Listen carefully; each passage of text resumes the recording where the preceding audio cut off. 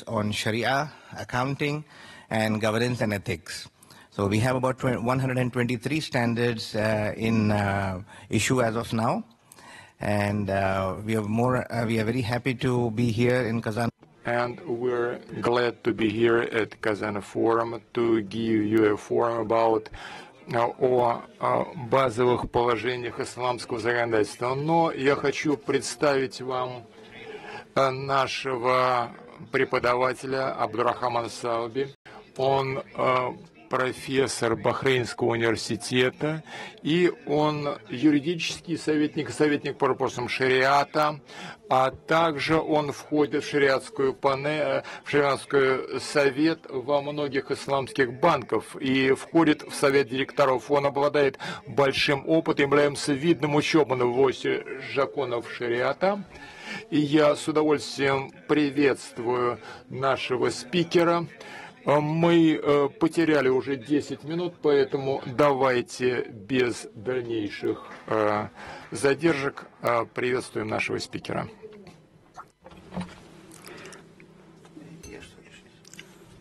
Давай. بسم الله الرحمن الرحيم الحمد لله رب العالمين على أشرف الأنبياء والمرسلين نبينا محمد وعلى آله انفعنا بما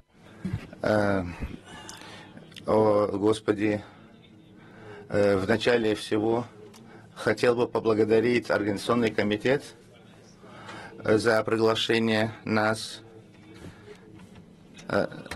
на этой сессии, которая, которая затрагивает основы финансов, исламских финансов, исламского фиха в этой области. Как я понял от организаторов, что, что я буду э, затрагивать вопросы основ э, финансовых операций, исламских финансовых, э, за полтора часа только. И поэтому я буду вам э, объяснять все основы без, э, без особого э, раскрытия, но если потом появятся вопросы, то, конечно, пожалуйста, можете задавать их в конце. А лучше, конечно, можно в процессе, но лучше будет, если вы их зададите в конце этой сессии. С Божьей милостью давайте начнем. Начнем с того, что основы финансовых операций, основы по фикху.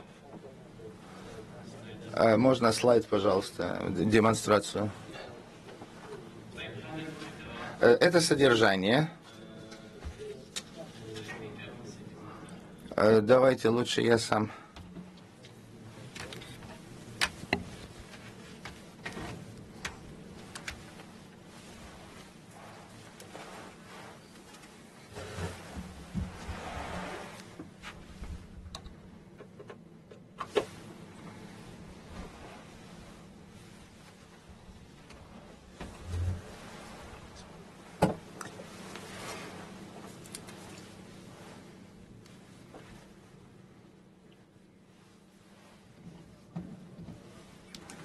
Вот мы видим содержание. Прежде всего будем говорить о, об основных основах исламских финансовых операций. И дам краткий обзор о разницах между исламскими и классическими банковскими услугами. Затем мы поговорим о источниках фикха исламских финансовых операций, то есть на каких принципах зыждятся отношения финансовые, то есть из каких источников они были взяты. Затем зайдем, будет у нас поговорим о правилах, которые регулируют финансовые операции, а затем доказательства запретов, а затем поговорим об особенностях, общих особенностях финансовых систем.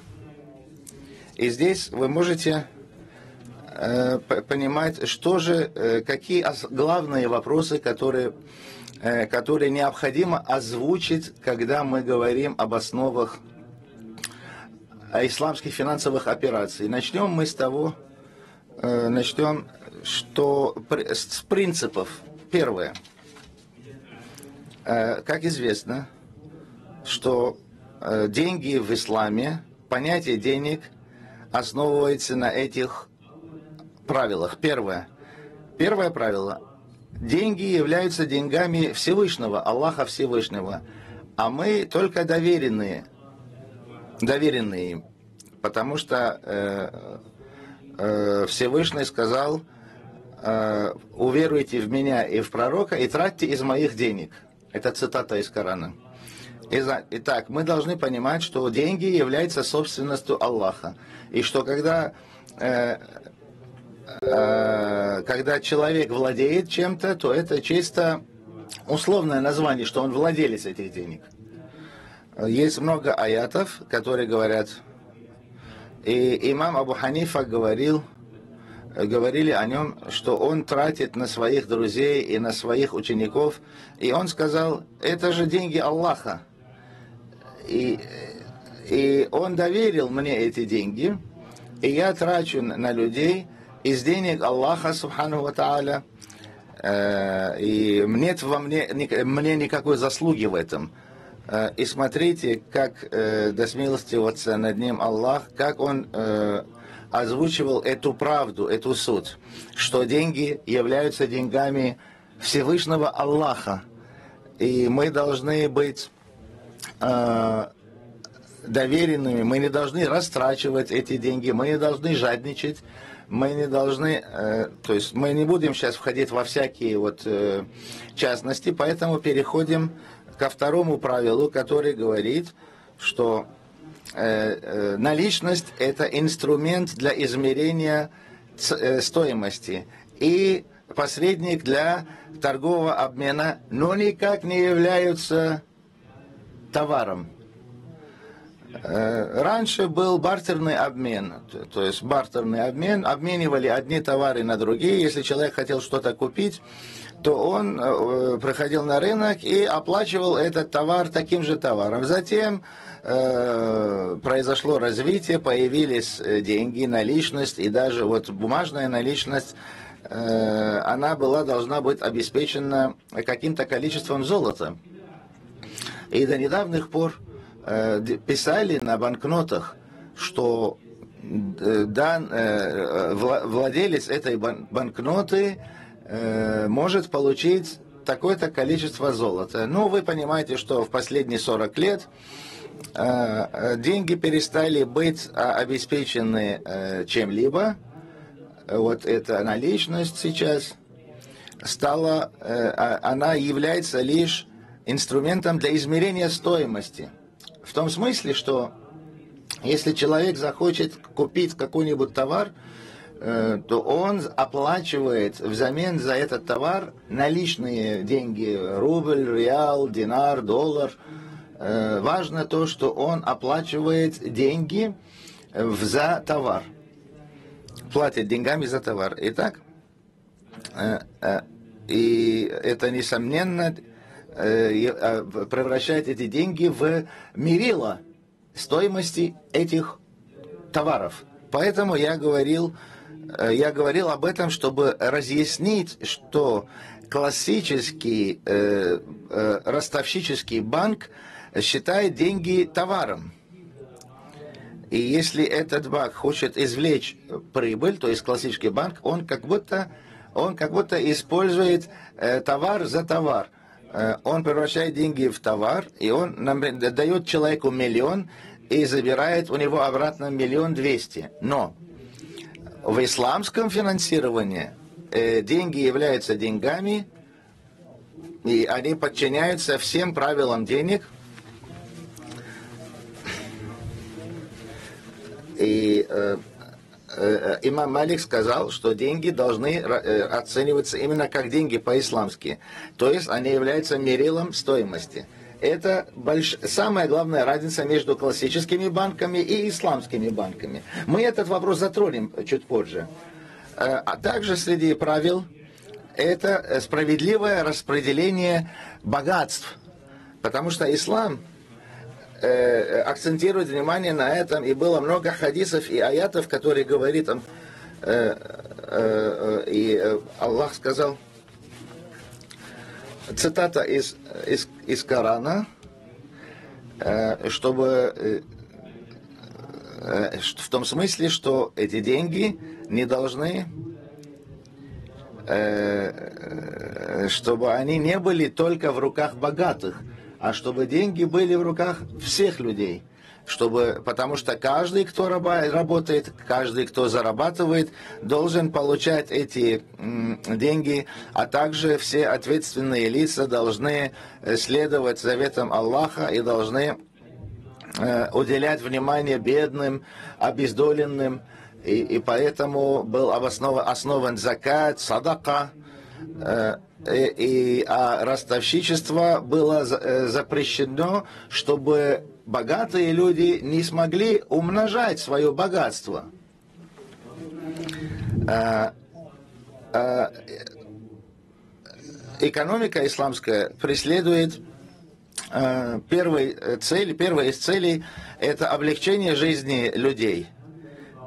И поэтому первое правило – в, в исламском финансовом, э, в исламских финансовых операциях, что э, все договоренности, все условия – это дозволенность, ибаха. И, потому что, как вы знаете, э, основа культов э, это э, пост, э, молитва и так далее. Э, это, а самым главным в этом является Э, ага, э, самое главное в этом является дозволенность, подкрепленная текстом, то есть четким, понятным текстом. Например, э, пророк, да будет ему мир, сказал, проводите обряд молитвы так, как и провожу его я, как вот видели, как я его провожу. Не надо придумывать что-то от себя, не надо придумывать какие-то новые э, обрядные, э, обрядовые движения. Нужно соблюдать то, э, что было оговорено исламским шариатом. Основа, основа э, договоренности между людьми и условий, которые условия. Это, это когда один из договорящихся ставит условия, и вот в этих условиях э, должна быть, основой этих э, условий должна быть дозволенность, ибаха, разрешенность. Это исламская разрешенность. Если второй говорит, один говорит дозволено, второй говорит недозволено, а тот, кто говорит дозволено, ему достаточно он должен говорить, что э, основой этой э, дозволенности это религиозная дозволенность, разрешенность. Э, и, значит, самое главное в договоренностях это дозволенность, ибаха. Есть запреты, значит, основой договоренности является ибаха, дозволенность, кроме тех случаев, когда есть конкретные, точные, понятные запреты. Кроме того, а, они преследуют а, участие, соучастие в рисках. Это второе правило. Соучастие в рисках. А, э, ростовщичество – не предполагает рисков. То есть э, обычный банк, ростовщический банк, когда дает человеку деньги в кредит, в суду, он не несет никаких рисков. Это товар за товар. Он считает деньги товаром, он дает тысячу долларов, а затем получает обратно 1200 долларов. И он э, в данном случае нету товара, нет ничего. Э, как в случае с э, шариатом и с, банк, э, с исламским банком, мы говорим не только о, банковском, о банкинге, об исламском, мы говорим о шариате, обязательно тот, кто хочет извлекать прибыль, он должен обязательно нести риски. Если трое или четверо людей работают над каким одним проектом, они должны нести риски в равной степени. Если они хотят извлекать, извлекать прибыль, то они должны и терпеть риски. А есть хадис, который говорит на эту Аль-Хараджу Биддаман, это значит, э, э, можно сказать, что этот хадис, это суть, и это разница, разделяющая между исламской, исламской работой и ростовщической работой. Потому что исламский шариат говорит, что Аль-Харадж Биддаман, это значит, э, это значит, все должны нести риски. Если ты хочешь и извлечь прибыль, ты должен э, участвовать в риске. Если происходит убыток, то ты также должен быть соучастником этого убытка. Ты должен также нести убытки. В отличие от этого, ростовщичество не предполагает никаких рисков. Просто я говорю, даю человеку деньги и говорю, что вернешь э, больше, и меня не волнует, что произойдет. И ты не можешь сказать, что случилось это, случилось то. Дальше, значит, Третье правило – это э, э, э, запрет ущерба, запрет убытка, э, нанесение ущерба. То есть нельзя наносить ущерб. Э, если происходит ущерб, то его нужно ликвидировать. Это значит, то есть все основы и все запреты в исламском шариате, все Э, существует именно для того, чтобы не допустить ущерба. Ну, почему ростовщичество запрещено? Да чтобы не было ущерба, чтобы э, не испытывали э, ущерба вот именно бедные люди. Потому что это может нанести вред. Э, э, также несправедливость. Э, это, это все э, э, потому что исламский шариат не хочет наносить вреда, не хочет наносить ущерба людям. И если это происходит, то нужно это как бы избегать или ликвидировать, если произошло. Дальше будем говорить о разнице между э, банковскими услугами исламскими и классическими.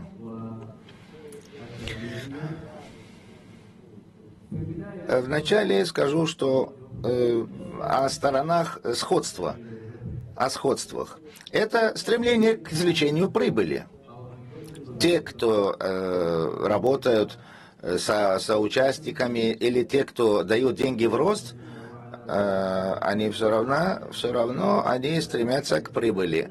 И тот, кто делает все, соблюдая э, фик и шариат, он тоже стремится к прибыли. Второе э, сходство – это соблюдение э, правил, э, законов и правил. Ну, государственных имеется в виду. Оба банка, и классические, и, и исламские, должны соблюдать и подчиняться местным законам и правилам, которые существуют в данном э, государстве. Третье сходство – это разделы и управление, в, то есть в структуре, в самой структуре э, банков. Очень многие этих, э, из этих управлений, из этих департаментов мы можем найти сходные департаменты и в том банке, и в другом. Это значит казначейство, э, работа, департамент работы с юрлицами, департамент работы с частными лицами. Но есть и различия.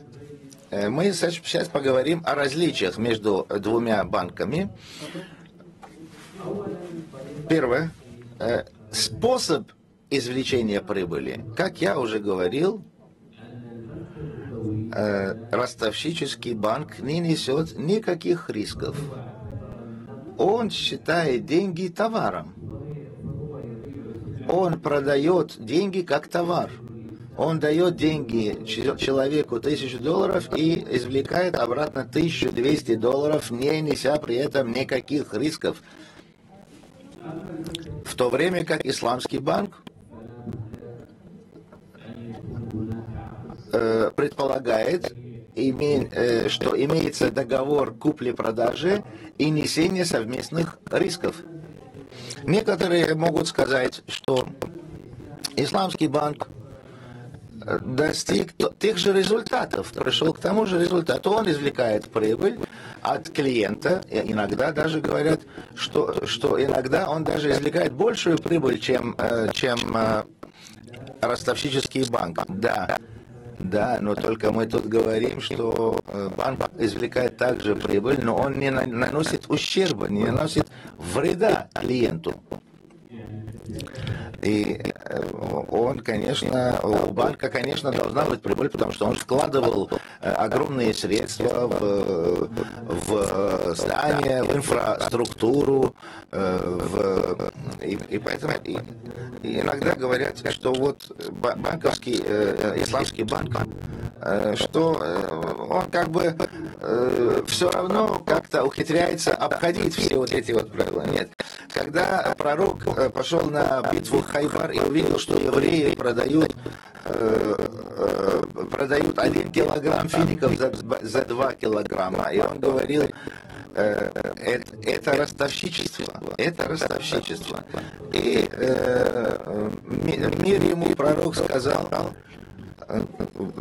продавайте, продавайте один килограмм хорошего, хороших фиников за деньги, а затем покупайте э, два килограмма, может быть, менее качественных фиников за те же деньги. То есть это получается купля-продажа. Один килограмм через деньги за два килограмма.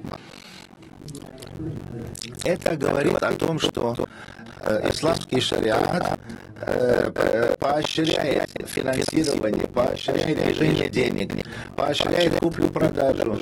А, один продал, второй купил, один заплатил, второй получил, выручил. А не то, что вот я даю 100, получаю 120, как то происходит в ростовщических банках.